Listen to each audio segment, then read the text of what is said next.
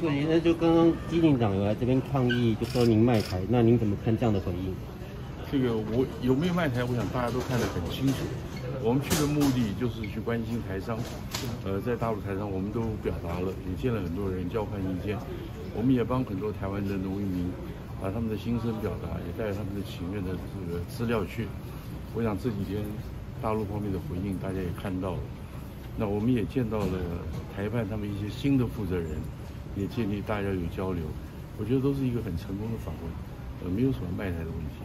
我有没有卖台？对台湾是不是做好事情？我想不是由他们说了算，应该是由台湾的人民来说。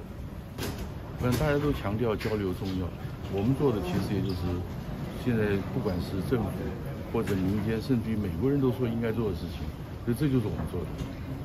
那主席有没有特别另外交代什么样的？没有，其实我的任务开始讲得很清楚，就是我刚刚说的三项，好吧？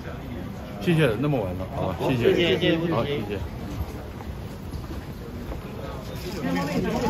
小心后面。